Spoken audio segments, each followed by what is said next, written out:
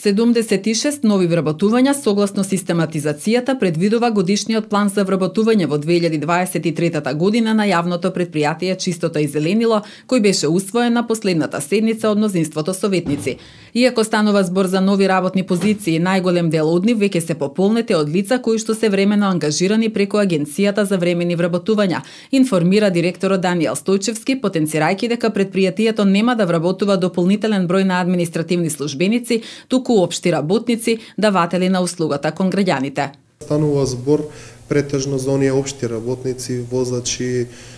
метлачи, општи работници кои што работат во одел зеленило и од тие тројца се административни службеници кои што се веќе ангажирани преку агенција за времени вработување и тоа се луѓе кои што се ангажирани по основ на ослободување на постоечки работни места, да не се доведеме во заблуда, јавното предпријатие не вработува административни службеници, ниту е зголемен бројот на вработени административни службеници во последните 5 години, кои не изнесува повеќе од 40 луѓе, вклучувајќи ме и мене, од вкупниот број на вработени кои во моментот изнесува неде околу 340-350 вработени, тие луѓе се потребни за вршење на основните работи во делот на администрација. И тој број на вработени нема ниту виднина да се зголемува.